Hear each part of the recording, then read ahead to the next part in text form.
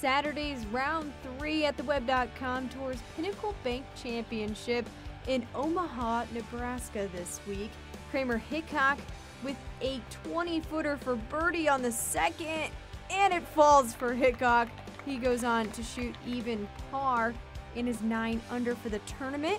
And so is Sam Burns. This one from about 14 feet for birdie on the fourth.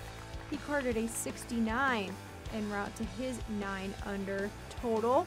Sean Kelly had an eagle on the fourth and was six under in six holes on his front nine. We meet up with him for his chip shot on the 11th, setting up a par. So he gets up and down to save par. He had the low round of the day with a 64.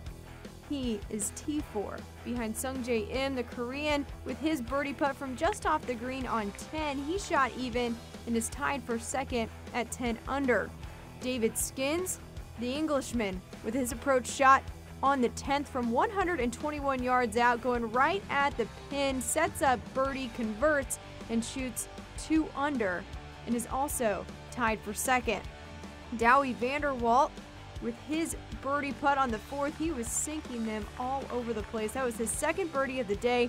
Then we meet up with him on the back nine on 17, 11 footer for birdie. He gets the crowd pumped for that one. The South African then on the 18 from the bunker. Very nicely executed.